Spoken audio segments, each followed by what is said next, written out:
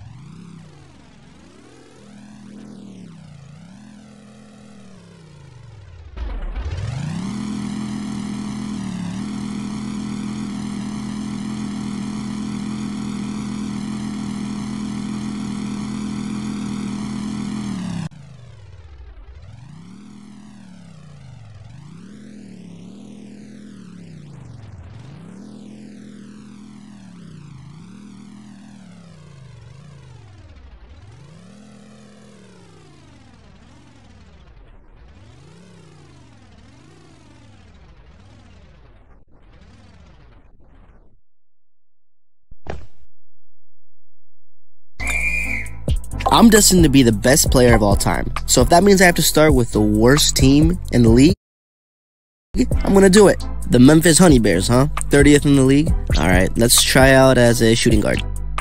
My performance was great, but